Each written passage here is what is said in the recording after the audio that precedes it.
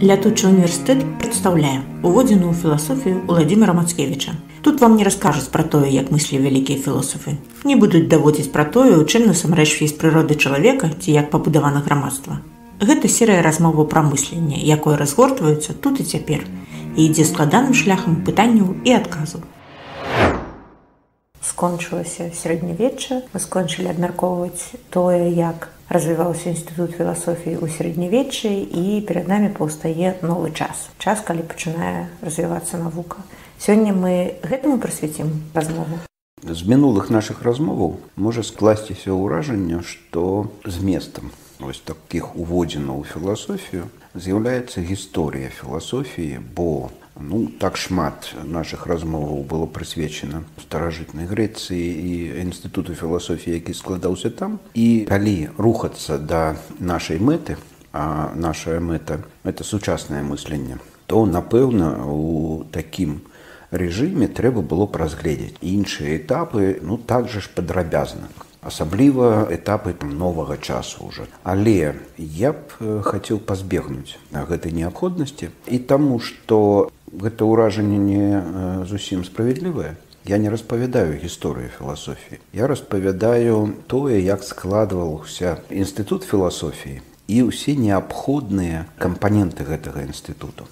І паколькі вось прататып інстытута філасофіі сучаснага ён склаўся ў старажытнай грэцыі і асноўныя кампаненты гэтага інстытуту з'явіліся ў той час то я і вымушаны быў прысвяціць гэтаму шмат увагі а у астатнія часы все гэта ўжо было. Было і усе гэты кампаненты і ідэальны план і інструментарій і індывідуальнасць і спосабы працы за гэтым усім.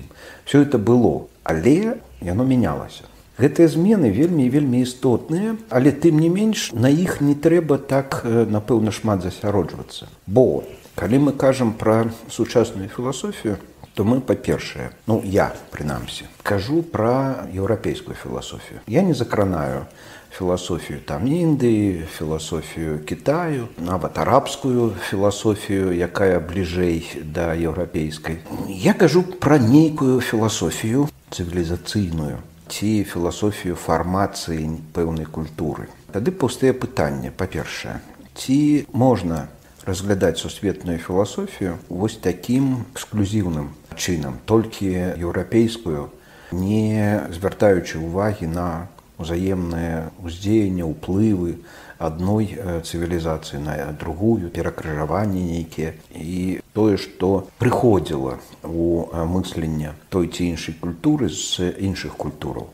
Наколькі можна ўвогуле асобна разглядаць сучаснае мысленне вось па гэтых асобных цывілізацыях? Па-другое ці з'яўляецца еўрапейская філасофія індывідуальнай індывідуальнасцю? У тым самым сэнсе як мы разглядаем індывідуальнасць ужо ў самом інстытуце філасофіі то бок не толькі яе унікальнасць еўрапейскай філасофіі адносна там індыйскай ці кітайскай але і яе непарыўнасць пераемнасць ад старажытна-грецкай аднаго і таго ж. І гэтае пытанне напэўна у розных падыходах можа трактавацца по-рознаму але я павінен его разгледзець наколькі справядліва лічыць скажем схаластыку сярэднявечную філасофію пераемніцай старажытна-грэцкай філасофіі. Ці правільна гэта будзе ці больш правільным будзе падыход, калі мы разглядаем філасофію, нават існуючую вельмі працяглы час, як паўстаючую на ну. Ну скажем, вось мы спыніліся мінулым разам на тым, што быў час досыць цікавы і унікальны час, калі суіснавалі два інстытуты філасофіі тое што ўжо падыходзіла да свайго канца антычная філасофія паўстаўшая з старажытных афінаў і новая адносна новая філасофія хрысціянская якая таксама цягнулася больш за паўтары стагоддзя напэўна ці амаль полторы стагоддзі. Але той метад якім вы падыходзіце да філасофіі змястоўнай генетычнай ён пачатку задаецца як штосьці што развіваецца і разгортваецца ў часе а не з'яўляецца дыскрэтнымі паўстаннямі нараджэннямі чагось ну калі фармальна падыходзіць то напэўна такога адказу было б дастаткова. Але я бачу тут шмат складанасцяў. Я падзяляю тэзіс ці ўяўлення про тое што еўрапейская філасофія она непрерыўная кантынуальная. Як яна пачалася з сакрата скажем яго папярэднікаў і ўсіх тых складнікаў грэцкай культуры якія на той час былі так яна працягваецца да сённяшняга дня. І калі я нават калісьці казаў пра тое што мысляром немагчыма стаць не атрымаўшы штуршок ці нейкі падарунак ці нейкую спадчыну ад настаўніка. І можна працягнуць ланцужок вось гэтых сувязяў вучня і настаўніка ад мяне назад адкручваючы да самага сакрату. І гэтая тэза мне падаецца досыць справядлівай і я е прытрымоўваюся. Але як гэта адбываецца? Ці можна сказаць так што ў гэтым ланцужку ад мяне назад да сакрата все хто ўваходзіў у гэты ланцужок былі філосафамі Ну гэта ж не абавязкова А тады як перадаецца філасофія і мысленне калі гэтым ланцужку не было людзей тых самых якія займаюцца тым самым чым займаюся я і сакрат? Ну вы самі казалі што філасофія існуе у выглядзе практычнай філасофіі педагогікі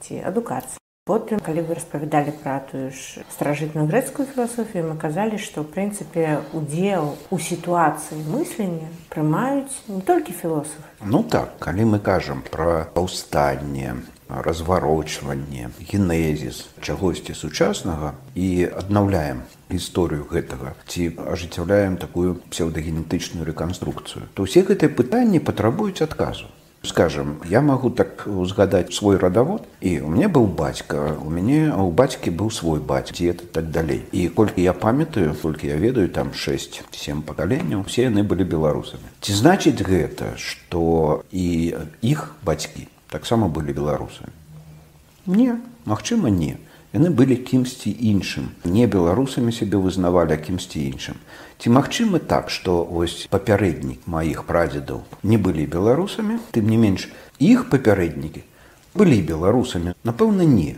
Тут ідуць адгалінаванні, якія могуць разыходзіцца і станавіцца непадобнымі адзін на аднаго. А з філасофіяй як? Ці можам мы казаць, што калі трансляцыі разварочвання філасофіі значную ролю адыгрывае адукацыя, то скажем паўстанне філосафаў у гэтым ланцужку можа быць дыскрэтным, а паміж імі гэтымі дыскрэтнымі фігурамі філосафаў у ланцужку ёсць некалькі фігураў настаўнікаў, якія ажыццяўляюць адукацыю, а самі філасофіяй не займаюцца.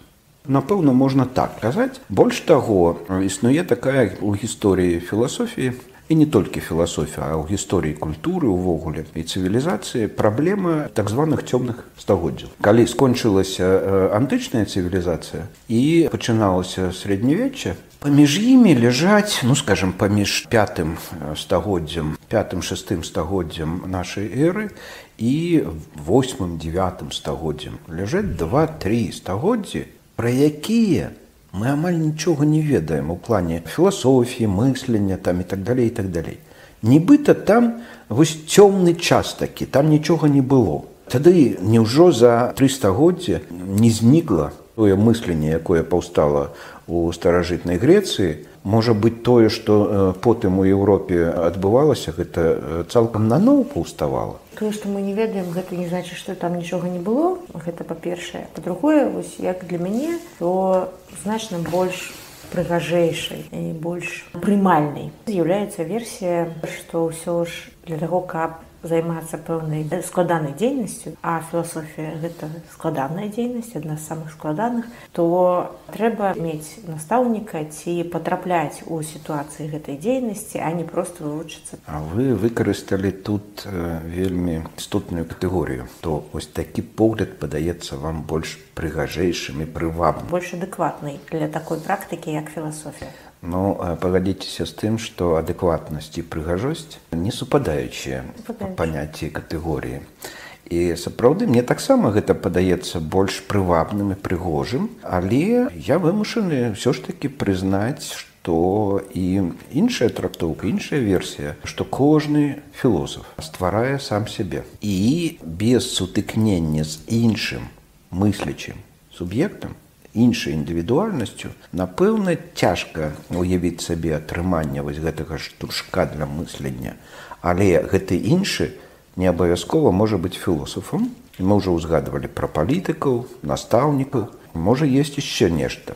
І вось калі мы кажам што філасофія можа транслявацца праз адукацыю то я б дадаў яшчэ адзін чыннік. Філасофія можа транслявацца праз мову і гэта асобная лінія разгортвання філасофіі.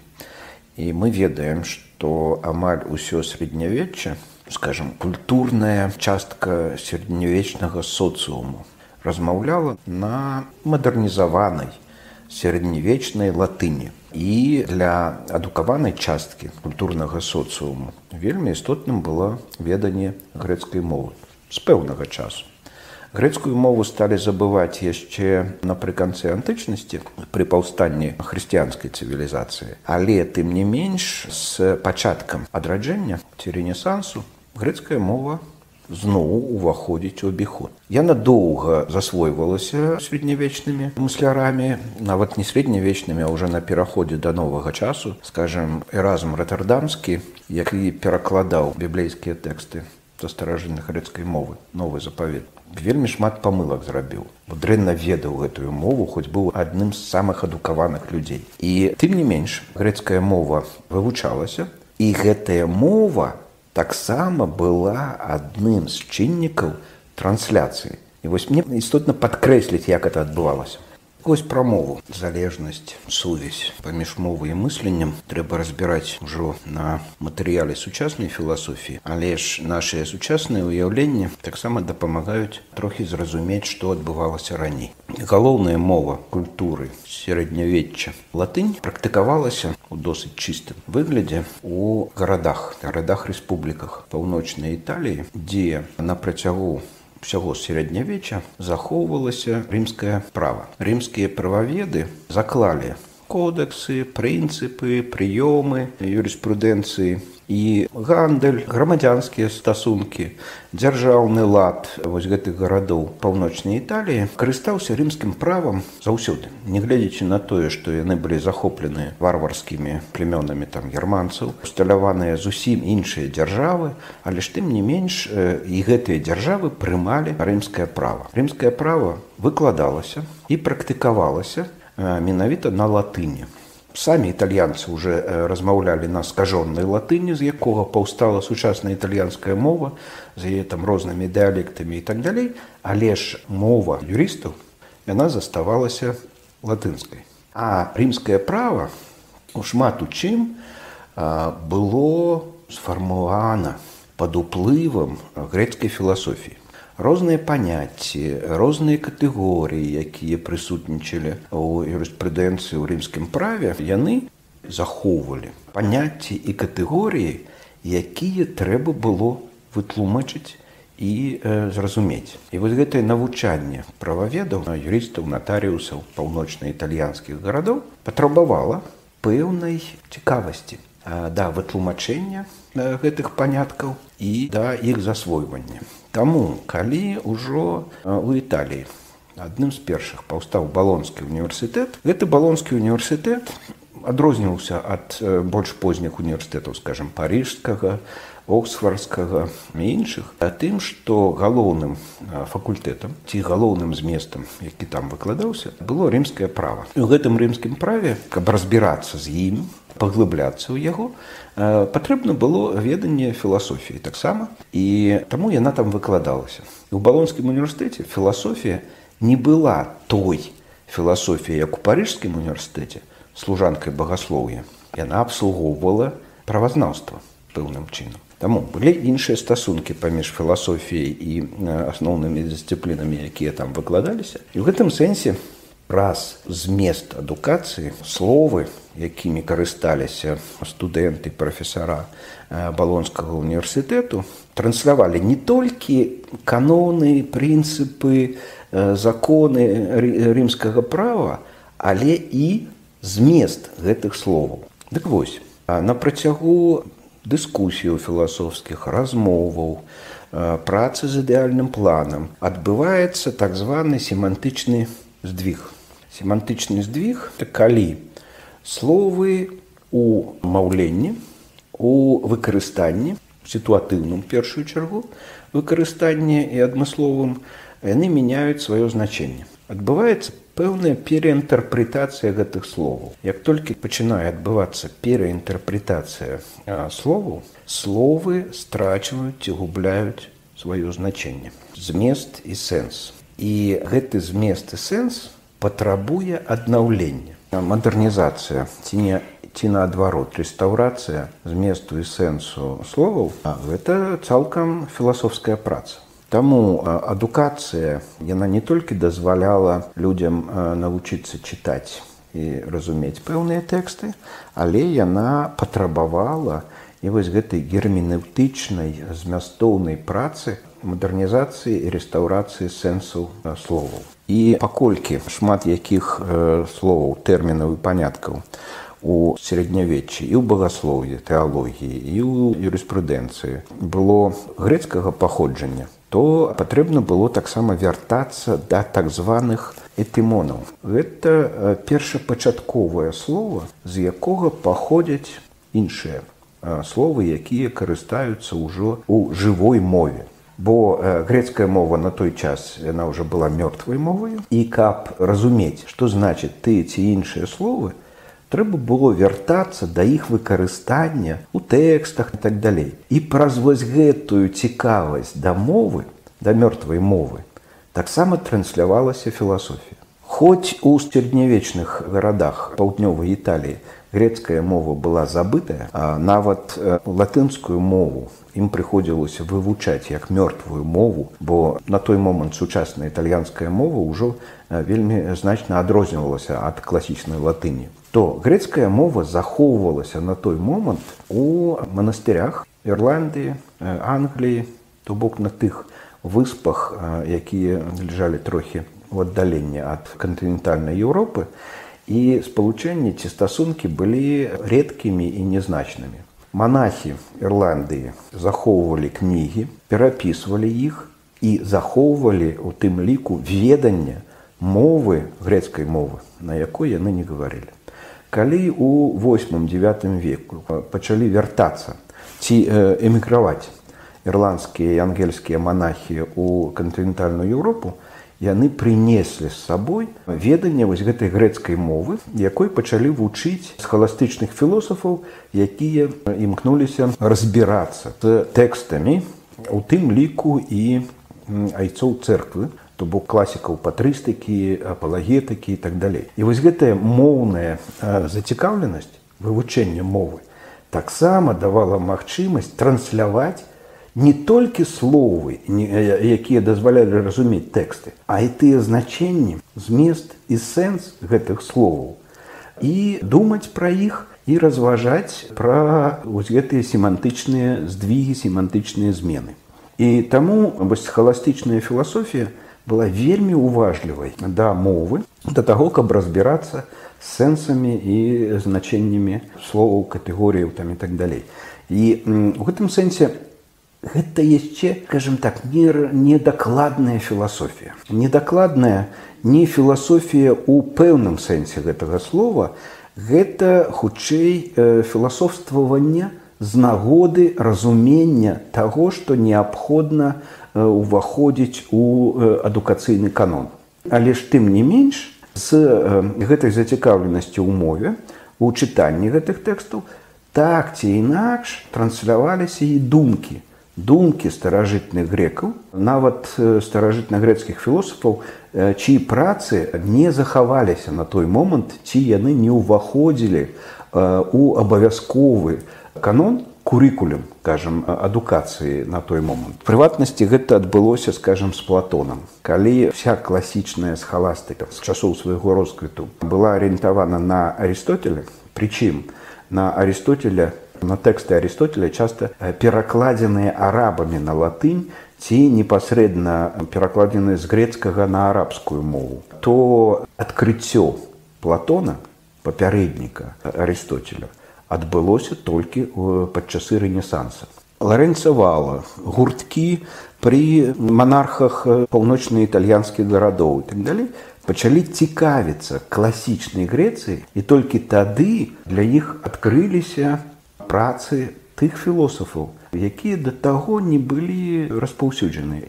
Яны пачалі іх чытаць, перакладаць і з гэтага паўставала зацікаўленасць зноў жа у грецкай філасофіі. І такім чынам адбывалася пераемнасць не праз саму філасофію, а праз адукацыю, правазнаўства і праз мовазнаўства ці, ці зацікаўленасць дамову. Таму з аднаго боку мы можам казаць так філасофія сярэднявечча з'яўляецца нашчадкам старажытна-грэцкай філасофіі. А з другого боку мы можам казаць, але яна запазычыла са старажытнай грэцкай філасофіі не філасофскі змест і як філасофія, як вытлумачэнне таго, што мы не ведаем, адкрыццё таго пра што філосафы разважаюць пра невядомае яны вымушаны былі пачынаць сябе самі а не э, працягваць разважанні грекаў. Гэта вы кажаце пра змест. А з іншага боку мы вось некалькі размоваў прысвяцілі менавіта інстытуту філасофіі і гэта значыць што сама пабудова сістэмы мыслення таксама павінна была перадавацца наяўнасць ідэальнага плану індывідуальнасць сродкі якія ляжаць у ідэальным плане з якім працуюць ну гэта ж таксама перадавалася нейкім чынам. Ну так я ж і кажу чаму мы так шмат увагі надалі старажытнай грэцыі Таму што там з'явіліся і набылі статус існавання все асноўныя кампаненты інстытуту філасофіі далей у яны і выкарыстоўваліся і існавалі. Іншая справа, што мяняўся змест напаўнення асобных кампанентаў гэтага інстытуту. Ну, у першую чаргу, што саму філасофію цікавіць, это змест, які ў ідэальным плане размешчаны. Бок аб'екты, сутнасці гэтых аб'ектаў так далей і, канешне, інструментарій. Абавязковы інструментарій, які вызначае вызначае падыход да аб'ектаў, якія ляжаць у ідэальным плане. І тут, напэўна, недаацэньваць унёсак схаластыкі высокай схаластыкі дунца скотта фамея квінскага ну і шмат каго яшчэ немагчыма. Прыватнасці я абавязкова узгадаў пера абеляра і той дадатак які ён зрабіў да асноўных дыскусіяў схаластаў пра існаванне універсаліяў дзе яны існуюць у платонаўскім свеце ідэю у ідэальным толькі выглядзе. Ці таксама ў рэчаіснасці. І абеляр знайшоў нібыта сярэдні шлях сказаўшы што яны існуюць у свядомасць і менавіта сабеляра цягнецца традыцыя цягнецца вось гэтая лінія субстанцыялізацыі ці аб'ектывацыі свядомасці як такой. Можна сказаць што менавіта сярэднявечная схаластыка і спарадзіла такую з'яву як свядомасць, а разам з ёю і сумленне. Всё это я кажу для таго, каб мы нават абмінуўшы падрабязны разгляд сярэднявечнай філасофіі не абясцэньвалі яго і не лічылі, што ён не зрабіў унёсак у сучаснае мысленне. І таксама я абміну ў гэтай размове велізарны гістарычны кавалак паўстання сучаснай навукі тых часоў, калі пачаўся поўны перагляд старажытнай філасофіі і тым больш пачалася адмова ад схаластычнай сярэднявечнай філасофіі ад тэалогіі і пчала паўставаць сучасная новачасная навука. Гэты паварот рабілі філосафы, Напэўна, найбольш грунтоўным тут быў унёсак Фрэнсіса Бэкана, які разумеў, што ён робіць і адмыслова назваў сваю працу галоўную філасофскую працу новы арганон. Стары арганон гэта комплекс кніг Арістотеля, які Андранік радоскі сфармуляваў у адным томе, скажем так, или у адным комплексе гэта кнігі пра інструментарій той самы які я казаў адносна унёска арістотеля туды ўваходзілі две кнігі аналітыкаў кніга катэгорыю кніга топікі і абвяржэнне сафістаў даецца ўсяго там 8 кніг было. Гэта быў арганон які прадпісваў як працаваць з аб'ектамі якія ляжаць у ідальным плане старажытна-грэцкай філасофіі то бок фізіка этыка паэтыка эстэтыка і так далей то з чым працаваў тым ліку арістотель але вось гэты інструментарій стары арганон не задавальняў бэкана ён бярэцца за вельмі амбітную задачу не абвергнуць арыстотеля не адмаўляцца ад папярэднікаў а прапанаваць новы арганон. І вось каб разумець амбітнасць гэтай задачи якую паставіў перад сабой бэкон трэба ўзгадаць што на працягу амаль двух тысячаў гадоў арыстотель меў нават другое імя філосаф з вялікай літары. Аўтарытэт арыстотеля быў недатыкальны. І трэба было набрацца ну, вось мужнасці каянства каб заявіць што нейкі адстаўны чыноўнік які быў абвінавачаны ў карупцыі які пазбаўлены быў дзяржаўных пасадаў не меў універсітэцкага прафесарскага статусу піша новы арганон і сапраўды бэкану гэта удалося. Ён сапраўды прапанаваў арганон новай філасофіі, недастаткова распрацаваны, не ўдасканалены, але ж тым не менш новы. Скончылі ці удасканалілі гэты пачатак стварэння новага арганону ўжо мысляры, філосафы і метадолагі 19 стагоддзя у прыватнасці Джон Стюарт Міль у сваёй кніжцы пачатак логікі індуктыўнай і дэдуктыўнай фактычна падводзіў вынік вось гэтай шматвекавой працы па стварэнню новага арганону. Але каб нам зразумець, што адбылося праз гэты бэканаўскі новы арганон, трэба навярнуцца да каштоўнасцю. Бо сам бэкан не стварыў новую навуку і новую філасофію філасофія эмпірізму ці сенсуалізму ангельская традыцыя філасофская стваралася ўжо потым копсам локам і іх паслядоўнікамі нашчадкамі а бэкан абвесціў гэта заклаў пэўныя прынцыпы і змяніў структуру каштоўнасцяў у ідэальным плане. Што значит змяніў структуру каштоўнасцяў па-першае ён рэабілітаваў даследаванне памятаеце мы казалі з тартуліанаўскіх часоў было пазначана, што функцыя філасофіі не даследавання, а вытлумачэння. Чым займалася мат стагоддзяў скаластыка. Бэкон рэабілітуе даследаванне і кажа, што каштоўнасць даследавання значна большая, чым каштоўнасць вытлумачэння таго, што казалі папярэднія класікі аўтарытэты і так далей і ўжо з самой назвай новы арганон ён гэта падкрэслівае як інтэлектуальную рэвалюцыю калі хочаце по-другое ён кажа яшчэ і пра метад метад якім трэба даследаваць даследаваць трэба не лагічным фармальна лагічным спосабам як это было апісана у аналітыках і катэгорыях арыстотеля а трэба эмпірычна даследаваць У гэтым сэнсе ён зноў жа рэабілітуе падыход эпікурэйскі. Прынамсі не толькі эпікур быў такім прадстаўніком грэцкай філасофіі, які адмаўляліся ад першаснасці ідэй платонаўскіх і настойвалі на том, што першаснымі ў разважанні ў мысленні з'яўляюцца пачуцці ці адчуванні слідоў вонкага свету. Не паглыбляючыся у расповед всего таго што зрабілі метадолагі новага часу заклаўшы падмурак сучаснай навукі то бок акрамя бэкана гэта яшчэ і галілей декарт спіноза. Мінуючы гэты этап мы можемм пераходзіць да таго часу калі магчымасці новага арганону у яго развітым за 3-4 стагоддзі выглядзе таксама былі вычарпаны І тут скончваючы вось гэтую размову ну, такую прамежкавую паміж гістарычным экскурсам зацягнуўшымся і пераходам да сучаснага мыслення трэба падкрэсліць адну рэч якая паўстае з нашага пытання пра кантынуальнасць і дыскрэтнасць генезісу і развіцця філасофіі. Все філасофскія школы усе нават філасофскія этапы фармацыі калісьці пачынаюцца дасягаюць свайго росквіту і пераходзяць да заняпаду. Можа яны не знікаюць назаўсёды але паміраюць.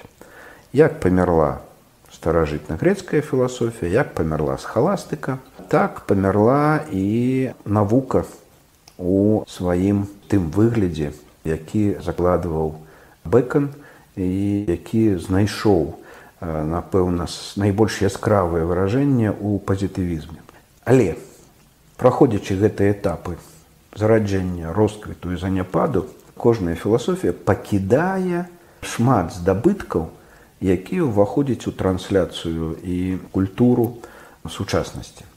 Пра ўсё гэта немагчыма забыцца. Гэта ўжо ёсць. І кожнае далейшае разважанне і мысленне не ігнаруе гэтага а абапіраецца на гэтыя здабыткі на гэтыя ўнёскі. І калі мы пазначаем вось гэтыя этапы а я назваў толькі тры такіх галоўных этапа станаўлення еўрапейскай філасофіі сучаснай. Гэта старажытна-грецкі гэта сярэднявечны схаластычны і гэты этап існавання навукі як вышэйшай формы мыслення ў Еўропе. То можна сказаць наступнае што чаму так шмат увагі менавіта старажытнай грецкай філасофіі толькі ў тыя часы філасофія была галоўным носьбітам мыслення. У сярэднявеччы філасофія апынулася служанкай тэалогіі. У новы час філасофія апынулася ну, можа не служанкай, а дапаможніцай навукі. Яна суправаджала развіццё навукі і хутчэй займалася нейкай пошукавай дзейнасцю, арыентуючыся ў тым, чаго ў навуцы не хапае, не, больш таго, але галоўным накірункам мыслення, была навука.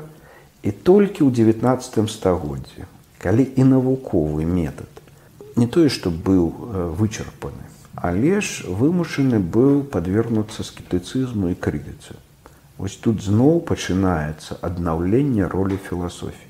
Філасофія зноў не можа перацягнуць на сябе першынства у культываванні мыслення як это было ў старажытнай грэцыі яна зноў павінна знайсці сабе месца паміж тымі напружанымі дзейнасцямі чалавека, дзе мысленне развіваецца ў першую чаргу.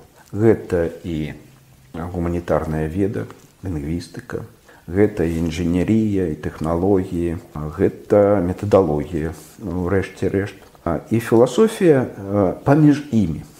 паміж імі, але калі пазітывізм які імкнуўся цалкам выкрасліць філасофію з сучаснасці і замяніць яе навукай яго не атрымалася і тым не менш філасофія зноў стала прывабным заняткам для мысляроў то на сённяшні дзень мы можемм навярнуўшыся да таго як пра гэта казаў хайдегер разважаючы пра то што такое мысленне ён казаў што калі мы кажам пра мысленне то пераважна лічым, што яно культывуецца менавіта ў філасофіі. Гэта не так. Гэта не так. Філасофія мае мысленне, асабліва сучасная філасофія, мае мысленне як галоўны аб'ект на сваёй дошцы, працоўнай у ідэальным плане, але ж тым не менш яна не адзіная чалавечая дзейнасць, якая займаецца гэтым предметам. Больш таго, напэўна, не толькі не адзіная, але і не самая прасунутая. Таму, разважаючы ўжо пра сучасны стан філасофіі, пра сучаснае мысленне, мы не можам абысці навукі, прыватнасці, псіхалогію, лінгвістыку, уключаючы там структуралізм, постструктуралізм і так далей, ну і штучны інтэлект, тэхналогіі. Усё гэта з'яўляецца абавязковым кампанентам сучаснага інстытуту філасофіі, дзе індывідуальнасць, якая працуе з ідэальным планам, ужо не можа з поўным правам называцца только філасофіяй і філосафам. Гэта пэўны набор пазіцыяў, калектыў, інтэрсуб'ектыўная дзейнасць. І ніхто не з'яўляецца манапалістам. Ніхто з удзельнікаў калектыва, які працуе ў ідэальным плане з аб'ектам мыслення, не з'яўляецца манапалістам на веду прамыслення і на само мысленне. Ну і скончваючы гэтае разважанне пра тое, чаму я міную вось, вельмі істотныя і працяглыя этапы развіцця філасофіі, я навярнуся толькі да аднаго пытання, без якога немагчыма ўявіць сябе сучаснае мысленне, сучасную філасофію, тэхналогіі і так далей. Гэта пытанне, якое сфармулявана было амаль паўстагоддзя таму, і ён гучыць прыкладна так ці можа машына мысліць вось уявіце сабе што гэтае пытанне задавалі б ну скажем арыстотелю ці там сексту эмпіріку ці парфірію ці дунсу скоту ці нават бэкану ці магчыма было б уявіць сабе што гэтае пытанне кімсьці з гэтых філосафаў мысляроў велізарных мысляроў свайго часу магло не проста быць успрынята ў сур'ёз а ўспрынята як выклік патрабуючы адказу не. Гэта магло быць там гульнёй думкі гэта магло быць фантазіяй напрыклад як у раймонда лулія з яго спробамі алгарытмізацыі мыслення. Але усур'ёз як выклік як праблема сучаснасці гэта ніколі не ўспрымалася раней. Гэта абсалютна новая пастаноўка пытання новая у гістарычнай перспектыве новая якая паўстала ў наш час напрыканцы два стагоддзя і э, абвастраецца э, зараз у 21 стагоддзе але гэта гэта адно толькі з магчымых пытанняў. І напэўна не галоўнае просто найбольш вострае якое немагчыма мінуць калі мы разважаем пра сучаснае мысленне